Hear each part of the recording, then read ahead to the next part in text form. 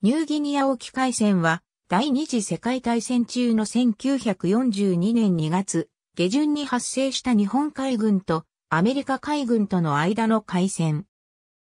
大本営発表でニューギニア沖海戦と呼称されたが、戦後の出版物ではラバウル沖航空戦と呼称されることもある。日本軍はラバウル航空隊の一式陸上攻撃機で空母レキシントンを中核とする第11任務部隊を迎え撃ち、全滅に近い被害を受けたが、アメリカ機動部隊も作戦目的を放棄して撤退した。オーストラリア移民島治療のニューブリテン島ラバウルは天然の白地やオーストラリア軍が設営した飛行場を要していた。日本軍はトラック諸島根拠地の防衛と米豪遮断作戦の構想に基づきラバウルを奪取する必要性を見出していた。特に南洋部隊指揮官、井上成美中将は太平洋戦争開戦前からラバウル攻略を持論としていた。南洋部隊は連合艦隊軍隊区分による名称で、内南洋及びソロモン、ニューブリテン島方面の作戦を担当し、第4艦隊を機関としてその長官を指揮官とした。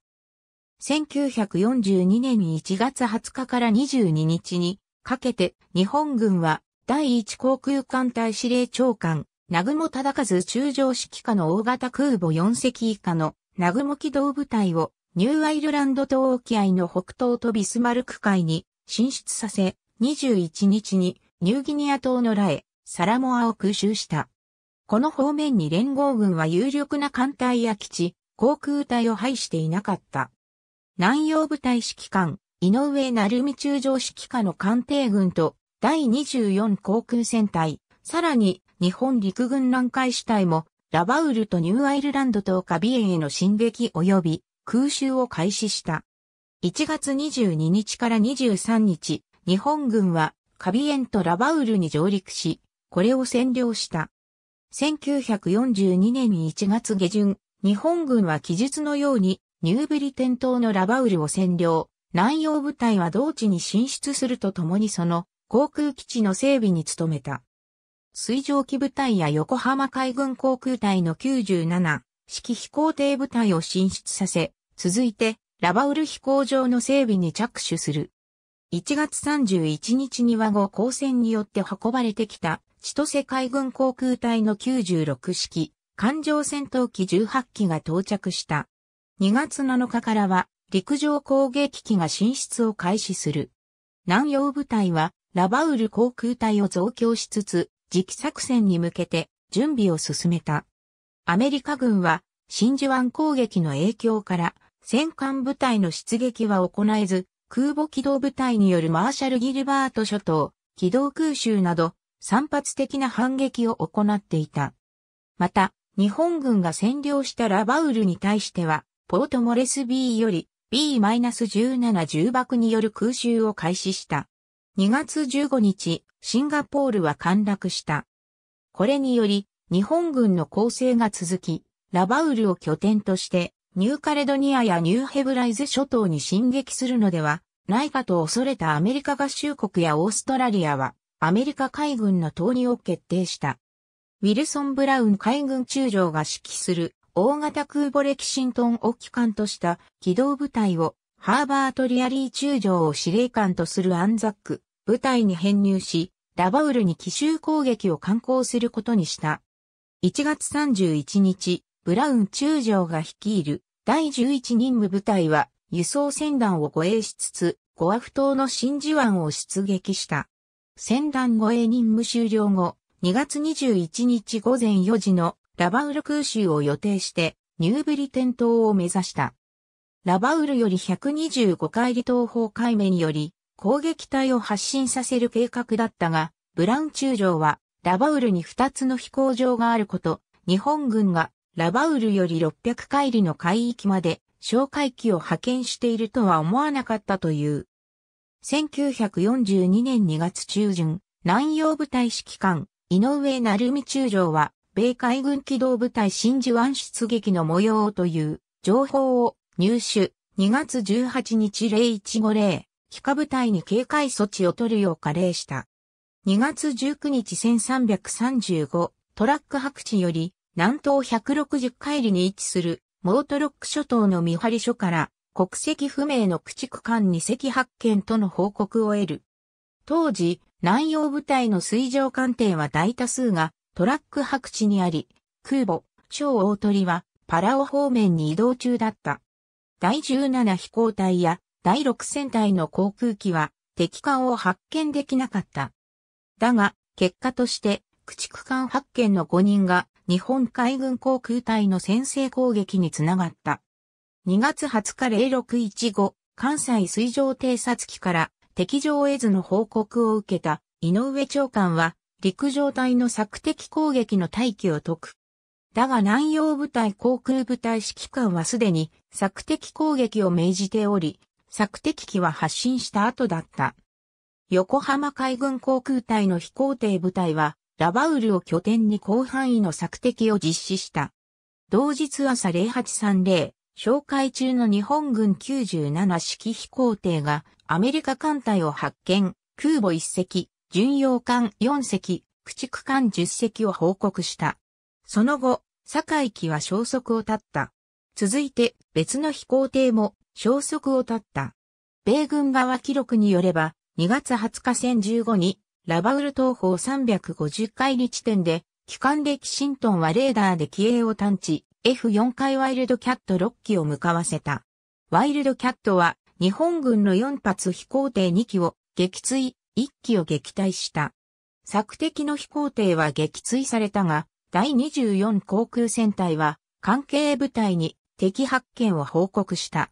1100第4艦隊は、機下の第24航空戦隊に対し、直ちに航空攻撃を加齢する。また、トラック白地やマーシャル諸島に分散展開していた第4艦隊機下航空部隊にも米軍機動部隊攻撃を命じた。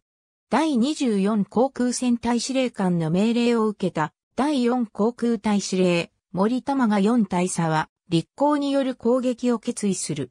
12時20分、日本軍はラバウルから第4航空隊の一式立候17機を発進させた。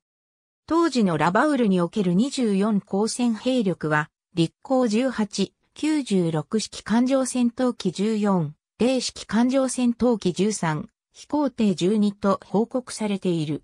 このうち0戦7機は、空母、幸大鳥により輸送され、15日に到着したばかりだった。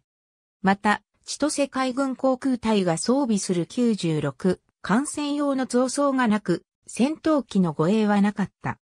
立候用の対艦攻撃装備も到着していなかったため、立候隊は爆走のみでの出撃になった。このため24光線は飛行艇による黎明来撃を敢行することにした。立候隊に戦闘機の護衛がなく、さらに爆走のみでの敵機動部隊攻撃に関係者は不安を持ったが、搭乗員たちは南西方面以来の実戦経験から士気は極めて高く、攻撃の成功を確信していたという。当時のニューアイルランド島東方の天候は良くなかったが、日本軍攻撃隊は97式飛行艇や、聖川丸所属0式水上偵察機の誘導により、米軍機動部隊を発見する。レキシントン側はレーダーで日本軍攻撃隊の接近を探知しており、F4 回戦闘機隊で迎撃した。1415時、飛行隊長、伊藤少佐は前期に突撃を加齢した。1435、第2中隊9機が水平爆撃を開始した。だが、命中弾はなく、F4 回戦闘機体14機の迎撃と対空砲火で第2中隊は全滅。1500時には第1中隊8機が攻撃を開始した。だがレキシントンに資金弾が一発あったのみで4機を失う。被弾炎上した2機は特攻を試み、1機はレキシントンの15メートル手前で海面に突入した。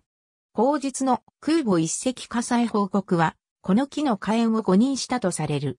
第11任務部隊を攻撃した立候部隊は、ラバウルに帰投できたのは被弾損傷した第1、中隊の2機のみという大損害を受けた。第4航空隊は飛行隊長、伊藤拓造少佐、第1分隊長瀬戸与え五郎隊員、第2中隊長、中川正義隊員など、合計107名を失うことになった。また、索敵の97式飛行艇と0式水上偵察機も未帰還となった。一方、VF-3 飛行隊長、ジョン・サッチ少佐が率いる F4 回戦闘機体は2機を喪失した。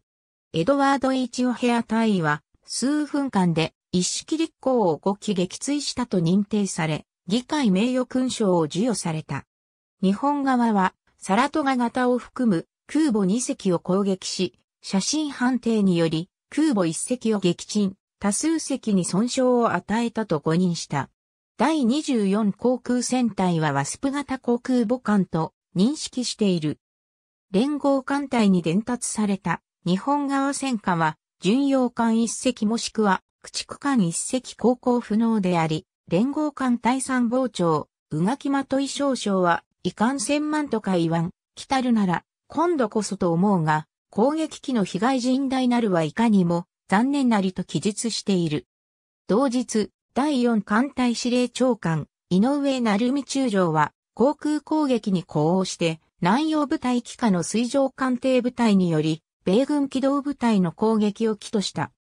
機関、鹿島及び、不設艦沖ノ島、後藤存寺少将指揮下の第6戦隊、丸も国則少将指揮下の第18戦隊を率いて、正午以後、トラック白地を出撃した。別行動中の第6水雷戦隊や航空機輸送任務中の小大鳥隊にも合流を命じた。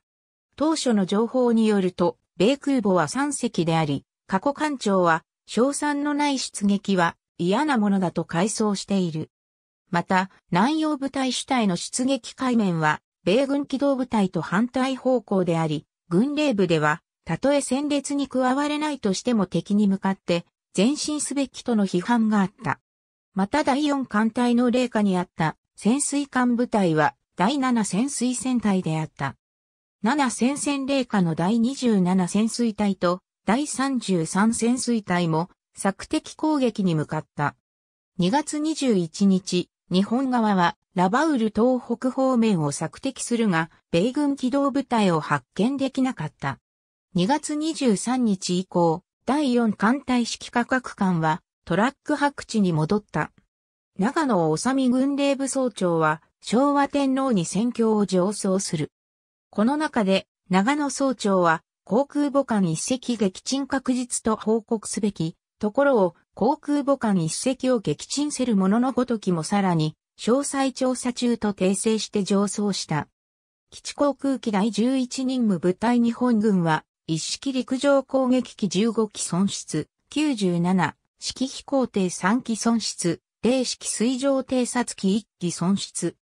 アメリカ軍は航空母艦、レキシントン一隻に資金弾があったが損害はなく、破片による軽傷数名、機銃弾による負傷者1名。F4 回戦闘機は2機を喪失、7機が被弾した。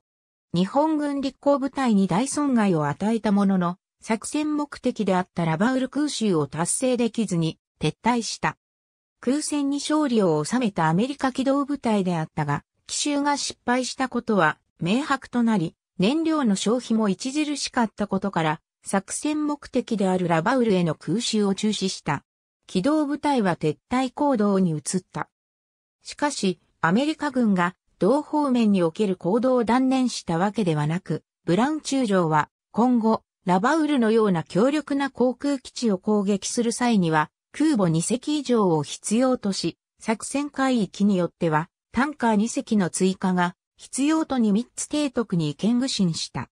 また、春勢提督率いる機動部隊で2月下旬以降のウェイク島空襲や南鳥島空襲を実施した。